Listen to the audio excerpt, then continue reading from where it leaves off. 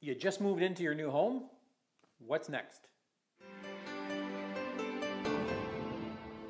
You've just moved into your new home. You're all excited. All your furniture is getting placed.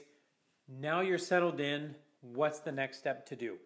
One thing you should really go back to is your inspection report. There's a good chance you bought the house, you did an inspection, the inspector went through the house from top to bottom, identifying all the little things that needed to be done.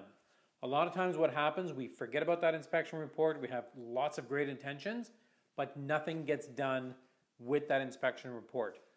Go through it again, go through the different rooms, places that the inspector was identifying, and make sure that all these little details that were identified by the inspector are taken care of. This way, you're not going to be looking back in two, three, four, five years going, oh, I should have done this, I should have done that. It's already been done. It's fresh in your mind. You know what you should do. It's in the report. Make sure you go through it so you don't forget about anything. If you have any questions or like discuss a little bit more details about moving into your new home, make sure to give me a quick call or you can always email me at jeanricher at jeanricher.com. Merci beaucoup et bonne journée.